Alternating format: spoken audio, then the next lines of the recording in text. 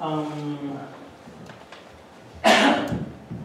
for those of you who don't know a lot about bee biology, we talked about um, fertilized and unfertilized eggs. Well, a fertilized egg can become a worker, a fertilized egg can become a queen. Depends on what the bees feed it and how, how they treat it. Um, so any, any just hatched egg could be made into a queen. And anything that hasn't hatched yet, they could wait till it hatched and make it into a queen. So, of, a fertilized egg. So these are the conditions under which bees naturally rear queens. An emergency is that the queen dies and they need to replace her. There's no queen, that sets them off, they start raising queens. Uh, supersedure is that the pheromones of the current queen have dropped. And usually the cause for that is that her fertility has dropped. Because she can't lie about her fertility, her pheromones give her away. If she runs out of sperm, she'll run out of QMP. If she starts to run out, but she hasn't completely run out, it'll start to drop off. So her QMP is their signal for whether or not they need to raise a new queen. So if she starts to fail, they'll do a supersedure. The other reason I, I, I split these out because I see a lot of difference in the way the bees behave during prime swarm season and they're trying to swarm and the way they behave when they're just trying to swarm late in the summer or or other times when it's not prime swarm season. So I split it out into reproductive swarming, which I think is driven by their need to reproduce.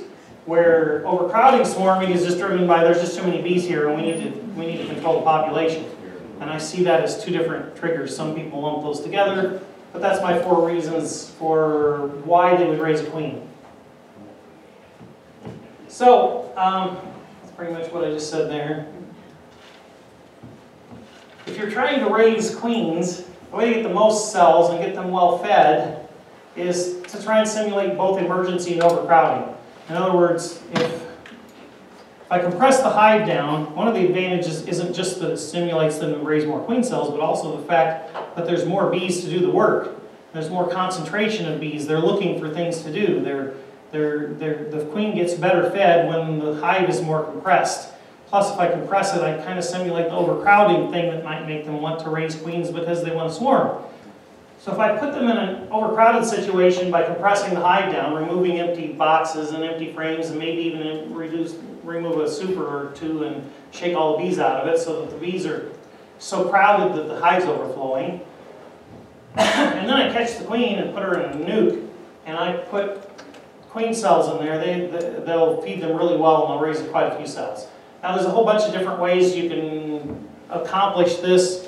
Um, I've got several of these books online you can read for free, or I put them in the form of a book back there if you'd rather buy the book. But I put Doolittle and Alley and Miller and two Jay Smith books, um, and two different uh, versions of Hopkins queen rearing um, out on my website if you'd like to read some of those.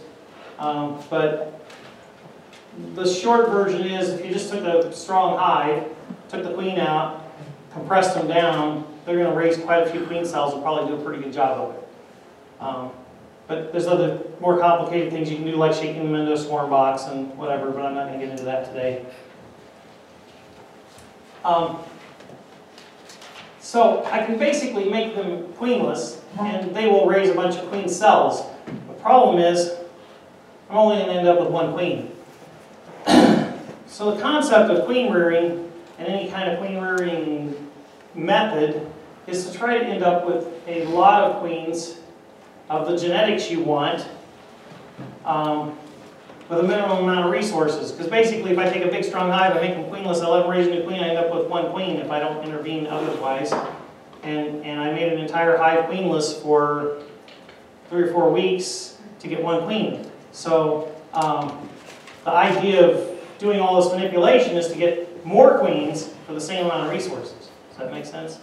Yes. So, um, I kind of already said that.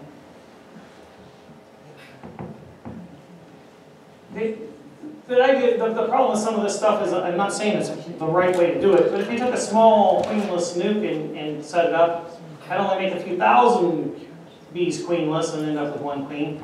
Problem is they may not feed her that well. Um, but if I were to take some of this depends on the situation I'm in. If I've got foundationless frames with no wires in them, and if I make the hive queenless and I compress it down, they're gonna raise a bunch of queen cells, and chances are a good portion of these I could probably cut out. I could probably cut some of these out and put them in uh, mating nukes 10 days from when I did this. So I could make them queenless, come back in 10 days and cut quite a few of these cells out, put them in mating nukes and get maybe 10 or 15 or 20 queens instead of one. Does that make sense so far? I'll, I'll talk more about mating nukes in a minute here, but. So basically, if I make them queenless, they're gonna take this worker larva and they're gonna feed it differently and they're gonna rebuild a cell out, coming out from there that, that hangs down like a peanut instead of looking like that, and they're gonna put a queen in there. Now, if that's on plastic foundation, I can't easily cut that cell out. Does that make sense? Mm-hmm. Because it's stuck on the plastic. I've met people who claim they put- peeled one off, I've never thought it was worth my trouble. I tried once and decided I didn't want to try it again. But if you had plastic and you made them queenless and they put five queen cells on this frame and five queen cells on this frame and five queen cells on this frame, you could still take this whole frame of queen cells and put it in a mating noose in this frame, put it in a mating nuke in this frame, and put it in a mating nuke and end up with three queens, right? But basically, they're gonna just start from what's there, build a queen cell out and make a, make a queen. Um, the easiest way I know to set up a cell starter the least complicated. There's, there may be better ways, and I, and I do some other ways. Um, but the easiest is just take a queen out with a strong hive, and they're going to be ready to raise a bunch of queens, and they're going to have enough bees to do it. They're going to be enough bees and enough, probably enough resources come in to have the queen well fed and take care of her. Um, and if you crowd them and get them kind of in the mood to uh, swarm as well, you'll probably improve things. One of the things you're going to run into every time you talk to any, anybody about um, walkaway splits or um, or just what I'm going to tell you to do here as far as just raising some emergency queen cells and then putting them in mating nukes, um, you're going to not hit quite not quite as much emotion as you did with the feeding the honey and, and the AFB, but you're going to hit a lot of emotion. You're going to hit all these people who say that emergency queens are terrible queens and, and they're not going to be well fed and, and you should never do that because they're going to, they're going to be terrible queens. I don't know where they get that. Um, I, I, I'm sure. There are Maybe- people who even say that the queens raised from a walkaway split are inferior queens. Right. Same, Well, for but the same it's, it's the same principle. It's an emergency queen, yeah. Um, and and to, to give them the benefit of the doubt, I will say this: if I do a walkaway split at a poor time, I could end up with some poor queens. I mean, the, the circumstances have more to do with whether I get a good queen or not than, than that it's an emergency or not. So- No way, No way, what? whether you get a good queen or not. I'm saying it has more to do with the circumstances under which I do an emergency queen. If I do it in the middle of a dearth, I often don't end up with a very good queen, but if I, I do it when things are, there's enough pollen and nectar and whatever coming in, I- I'll end up with just a good queen. the dirt and there's no problem. You just have to You- work with strong, just strong hives. You, well, a strong hive makes a big difference, yes. That's another mistake people make, is they'll, they'll, they'll take a frame of brood and a frame of honey and maybe a couple other frames, stick it in a five frame nuke and let them raise a queen and there aren't very many bees and, you know, they end up with a, with a poor queen. If you can choose, you want the strong hive building the queen cells and not the, not a little weak nuke. Because the little weak nuke's not gonna do as good a job of feeding the queen. Um, Um, as far as the, the quality of emergency queens, this is what Jay Smith said, basically, he's, I, I like this, because he wrote two books on beekeep, on, on queen rearing, and this is in the second one. He says, it's been stated by a number of beekeepers who should know better, including myself, that bees are in such a hurry to rear a queen that they choose larvae too old for the best results. Later observation has shown the fallacy of this statement and, and has convinced me that the bees do the very best that can be done under the existing circumstances. Um, this seems to be the prevailing theory on why you don't, on, on, on why they believe you don't get a good quality queen when you do an emergency queen. They think that they're gonna pick a larva that's too old. I don't think that's true. I don't, and, and he doesn't either. And he, he raised way more queens than I ever did. But um, he thinks if, the- if, if there is a real difference, it's because they can't tear down the cell, and maybe they don't get fed as well. Um, One, one of the solutions to that, if you believe that, I don't worry about it, I just do walk away splits and I don't worry about it, but you can tear down the walls of a few of the right age larvae and save them the trouble of tearing down the cells, and then you don't have to worry about that. Um, on-the-spot queen rearing is, is what Mel Disselkoen is recommending, that's basically what he's doing, he's just going and finding the right age larva and tearing the cell wall down, and then they don't have to tear it down. With a toothpick? Not eye tool, just tear the whole bottom out of it. I don't do it, but that's what he does. Tear two or three cells down, and then you've got a, um, an area where they can build a cell that doesn't have to come out and float the larva out and then around the corner. That's nothing new. That's how they used to hone, call honing them down, doing it two hundred years ago. Right, Quin, Quinby was, Quinby was doing that clear back in middle eighteen hundreds, so, no, it's not new. Um, And, and, and Miller was doing it after that, but he was just like cutting ragged edge on the cone, yeah. I saw a method where they took a, a a frame of, uh, of open brood and they put like a- on a little shim and made it uh, horizontal. Yeah, that's, that's, that's the Hopkins method. Um, that's in the Pellett book back there, it's in the Hopkins book back there, and it's in the, that, that big queen rearing book back there. Is there any And, advantage and to it's it? online on my website if you wanna go But read is it. there any advantage to it? It's easy. Um, it's, it's a way that you don't have to, you don't have to uh, graft, and you'll get more cells probably than you will just by making them queenless and then trying to cut out cells. I'm talking about making them queenless and cutting out cells just because it's something simple anybody can do and raise some queens, and then after you get a little more confidence, you can, But versus Try that else. emergency, it's still an emergency queen, but now they have. well, it's an emergency in the sense they build it under the conditions of an emergency because they're queenless, yes, but, but they don't have to tear down the cell, yes. It's just as good as grafting, isn't it? Yes, it's just as good as grafting, It's Good. because basically you're just putting them in the position that they need to be in for them to build a And you're not handling them. It's Cell. all, you know. Right, well, and if you don't know how to graft, then you don't have to worry Right. about that I screwed up the grafting, you, I think that's, it kind of helps to separate the grafting from the rest of it, just so that you have some confidence that I, I got the rest of it down, and now it wasn't the fault of my grafting, because I wasn't grafting, and now I can learn to graft. And not feel like I don't know where it failed, you know, by separating the two. Um, Here's the BeeMath, Mm, I've got a whole page on this, plus I've got a queen rearing page if you want to look this up later, or you can look at this later.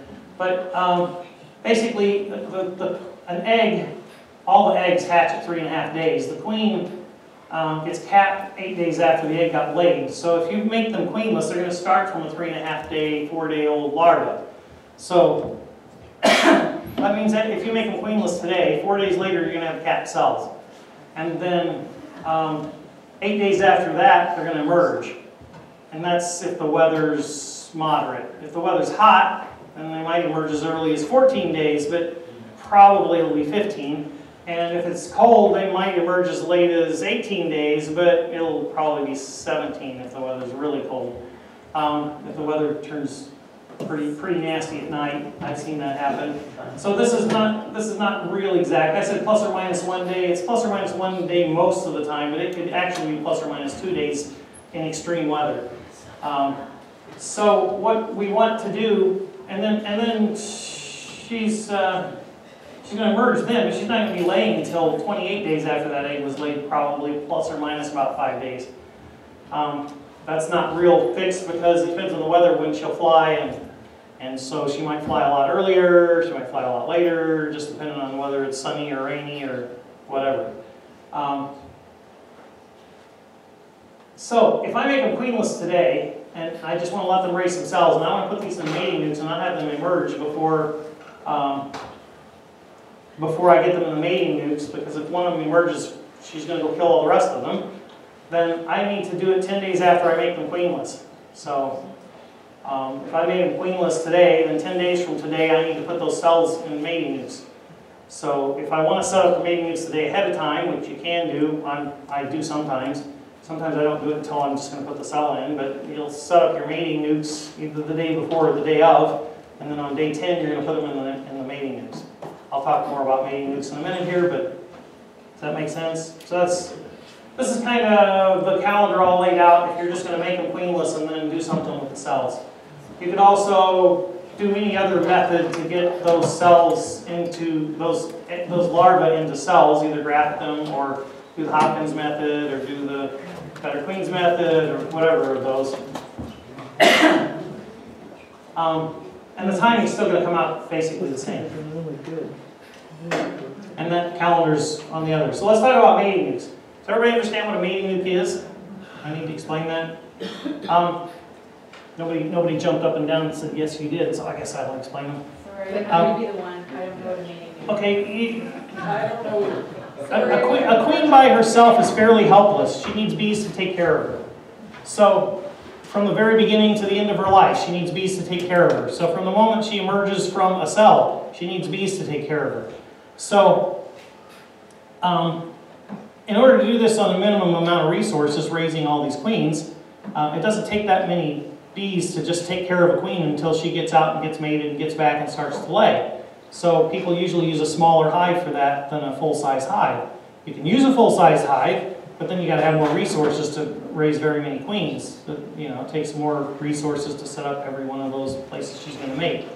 I set up uh, two-frame mating nukes and I use the, my standard brood frame, which is a medium. So I have two medium frames. I have a frame of brood and a frame of honey. So when I go to set up my mating nukes, I take a frame of brood with the bees on it, and I take a frame of honey, and I put them in a mating nuke, and then I take another frame of brood and I shake it in there for extra bees, because all the field bees are gonna fly back to the old hive. So I need about twice as many bees in here as what I, as what I want in the end, because half of them are gonna fly back to the old hive. Does that make sense? Yes. And I, and I don't wanna confine them, because on a hot day, they'll all suffocate. And I don't really want, you could haul them two miles away, some people do that, I wouldn't, I don't wanna do that, it's too much work. I just put an extra shake of bees in there and call it good. Now I can put the queen cell in there, if this is day ten for my queen cells, I put the queen cell in there and put the lid on it, and I'm gonna come back in about two weeks and see what happened. Um, So now there's some bees, some brood, the brood keeps the bees from leaving. I've got some honey, so they, they don't really need a field force because they have food, right? They have a frame of honey, so the fact that all the field bees went back to the other hive doesn't deprive them of enough food to eat because I gave them a frame of honey. So they have enough bees to get this queen mated. Now you can buy these cute little styrofoam nukes from Mann Lake. I think they're worthless. There's not enough bees there to even anchor the bees, and there's no comb drawn. I don't know how you ever get the comb drawn in these. I, I don't I don't know. I, I I don't see the point because I could set up a bunch of mating nukes tomorrow, assuming it was queen rearing season, just by putting a frame of brood and a frame of honey and a shake of bees and a frame of brood and a frame of honey and a shake of bees and a frame of brood and a frame of honey and a shake of bees, and they'll stay there because there's you know some of them will bleed, yes, but there's brood there, and so all the nurse bees are going to stay. They're not going to leave, and I've got drawn comb and I'm already set up and I'm up and running. these mating nukes, you somehow got to get these bees to stay long enough to draw some comb to want to stay there. And they won't have any brood there until you get a queen who's actually hatched and mated and comes back and starts laying in there. Um, I don't know how they get it, get it to work, but that's, some of the big guys do that because it takes less resources, but I, I never had any luck with it. Um, so, in my opinion, the best mating nuke is two of your standard brood, brood frames because that's kind of the minimum it would take to get it going and then you don't have to, you don't trouble getting them to draw. Plus at the end of the year, if you raised a bunch of queens, now what do you do with all these frames? You got all these frames full of brood. Every, you know, every mating nuke, you got frames of brood. Now what are you gonna do with these come the end of the season and you're not raising any more queens? If they're in these little tiny boxes, you, you, what do you do? You just throw them in the freezer and kill all that brood? It seems like a waste to me. I could take all these mating nukes and combine them all and make a hive out of them. Um, or, or I can let them grow into a reasonable size, eight frame nuke and overwinter. Um, so these are my mating nukes, the two frames. It's a ten, it's a ten by two, so it's a, it's a, or a four by two. It's a ten frame box, and I divided it up into four two frame boxes. Now there's people selling these and calling them a queen castle. You can buy this from Brushy Mountain, or uh, there's several, and Walter Kelley, I think, makes them. Uh, several people call them different things, but basically it's little two frame nukes. what I've got for inner cover there is canvas. You gotta have something to keep them from spilling over when you open this one up, so they aren't spilling over into the other one and killing the queen over in this one. So you either need boards on there for inner covers that are separate, or you need something like this.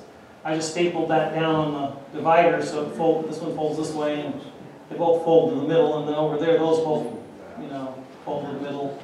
So it's two, four, Cover them up when you open it up. So there's, there's four mating nukes, eight frames. And then there's entrances in four different directions. So this one's on this side, the one, in the- one in the middle is on this side, the one in the middle has one on that, the next one in the middle has one on that side, and that one has one on the opposite side. So they're all in four directions. Yeah, So what if you do this and you wind up wildly successful? Like, I've got a backyard and I've probably, probably only run about six hives in my yard. So should I do something like this on a little small scale?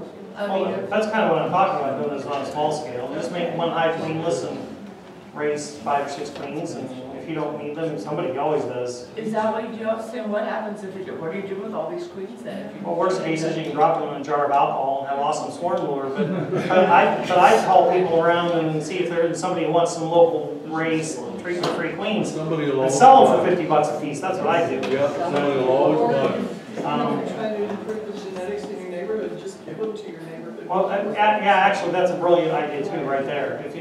Because one of your problems is everybody keeps bringing in these stupid Georgia queens or these stupid California queens that are not acclimatized to your area. So if you give all your neighbors your queens, you'll help saturate the whole area with your, with the drones you want. So that's not a bad idea too. Um, You can bank them, that's the other thing you can do when you get a whole bunch of extra ones. I used to think banking them was what made these queens so bad. But after I, I took a bunch of them one time early in the spring and I put them all in a bank and I left them there until fall. And I kept occasionally taking one out and putting it in a hive and it would start laying immediately and it would do really well. And, and so I had to conclude it really wasn't the banking that was making them bad. It was when they banked them that made them bad. It was that they would grab them before they laid more than a couple of eggs and they'd put them in a queen bank that made them four queens. It's not that they, how long they banked them, it's how early they grabbed them. So I banked them all the way, actually, until December. And then I had, we had unseasonably warm weather in December, and some guy in Texas wanted to buy them, so I sold them all. But um, as far as I know, he, he liked them. I didn't hear any complaints. Um, Anyway, that, that was my, a few good queens. Uh, The other things you can learn to do is you can learn to graft, you can learn to, um, the Jay Smith method is you cut little strips of comb and you wax them onto a bar. The waxing part is the part that makes that one a little complicated. The Hopkins method is basically you take, you take an empty drawn comb and you put it in the middle of a brood nest, you get the queen to lay in it, you pull it out, and you take your hive tool and just cut through every other row of cells and destroy all the larvae. And then you go through the rows that are left with a match head and you mash two larvae and you leave one, and you mash two and you leave one, and you mash two and you leave one. And the reason for doing this is to get the cells spaced out so that you can cut them loose. and cut them separate from each other. Because if you just take this frame of larvae and lay it in, on, lay it the way we're going to talk about in a second, on top of a uh, good strong hive, they're going to draw clusters of cells that are all stuck together, and you can't separate them. So you want those larvae far enough apart that you can cut each of them loose. Um, so then, if you take, if let's say you had a 10 frame deep hive, um, you could adjust adjust this for other other things, but if you uh, take a good strong hive, compress it down, and you take an empty frame, and you you can't fit an empty frame on top of the top bars with a box in here if it's straight with the box. But if you angle it, you can get it in there. So if you angle this empty frame and set it in there, and then you take this one you just destroyed every other larva and every other row on, and you lay it flatways with that facing down to on top of that frame, the frame creates a space. So there's just the space up above the top bars, and that's the space they're going to build those queen cells in. So you need that space so that they aren't connected to the top bars. That makes sense so far? Yeah, Then you can fill the rest of that box in with rags or burlap sacks or whatever's handy, it doesn't matter, just so they won't get up in there and start building comb. Um, Put a lid on, and then they'll draw all these, all these queen cells from those. You'll probably get more than you will just making them queenless, and they're a lot easier to handle and cut loose, cut each of them separate and put them in mating nets. Um, The other things you can do, you can buy these kits that, that are graftless, but you're gonna spend more money on them. The Hopkins method is probably the simplest, cheapest thing, because you probably already have everything you need to do it. You already, you already have an empty frame someplace, you probably already have an empty box someplace, you, So you, you can, you can do all this. It helps if that comb you're doing this with is, it at least doesn't have any wires in it, because you're gonna wanna get them to raise these queen cells, and you wanna cut all these queen cells out, and the wires get in your way. Does that make sense? So foundationless is your best bet, but, um, if you use like, you know, small, if you're using small cell wax foundation or something, just don't wire it. Get it drawn, and then put it in there right when you want the queen to lay in it, and go from there. That, that makes sense? Yeah? Yeah. It, uh, So going back to the discussion about what can, say, this community do to promote natural beekeeping, it strikes me that we should all be raising queens. Yes. in, uh, as much surplus as we can muster. Yes. And get them out there, right? So to the extent that this group Well, what, doesn't. what you're gonna find just even on our list, even on just the, the organic list, is you're gonna find there's all kinds of people in, who are on, in your area who want to find a treatment-free, good queen that's adapted to your area. And if you're raising them, then that's someplace they can go. Because right now, a lot of these people just wanna get started and they don't have any clue where to get good, good stock. And if you've got good stock, and by good stock, I just mean feral stock that's healthy and doing well, then you may as well be, yeah, you may as well be filling that niche. It seems like this should be pretty high on that list of all the things we can do. I agree, yeah. In fact, any of you want to get a little bit deeper into raising bees, there's a desperate need for small cell treatment-free packages. And, uh, and, and I- and you can sell them for a premium. You know, it's like raising organic garden, you know, your organic produce is worth more than the regular stuff in the grocery store. It really is worth more, and so you should charge more. Michael? Um, Yeah. So when you're using just a regular, um, medium box or whatever, for these, um, you know, for, uh, two frames each, um, you put it, you put some kind of board in between every two frames. Yes. So what is, what, what is that? Do you have enough space? How- How's that done? I, I can wind up. I'm just taking questions.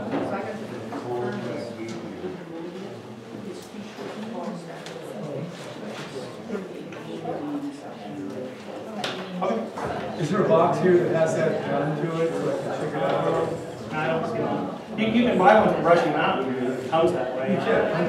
Queen Castle, but I'm, I'm not saying you have to buy one, you can look at the catalog and stuff. I can probably take some more pictures, I've got, Is it on your site? Is there stuff on your site? there's a picture, it's the same, probably the picture I have on my site is the same as that one. Um, this is, this is just a one by four here, but I, I would have gone with Luan if I was doing it again, because You'd go with what? Luan, like an eighth of an inch, And then you can just do a saw or, and, and this is a little bit crowded, I have trouble getting the queen cell in here, I get it in, but it's a little bit cramped. I wish I had a little more room, if I used Luan, which is an eighth of an inch instead of a three quarter inch, I'd have another three eighths of an inch. Okay, that helps, thank you. Dee, Dee's got some, uh, some videos here of an Apimondia talk,